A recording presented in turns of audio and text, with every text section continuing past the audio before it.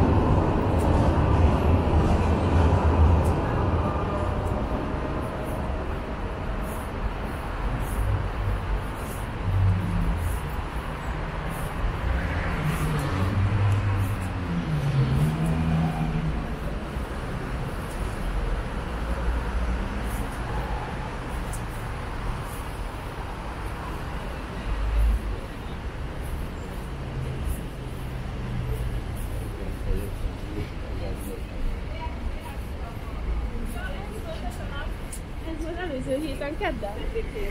Kicsi a világ.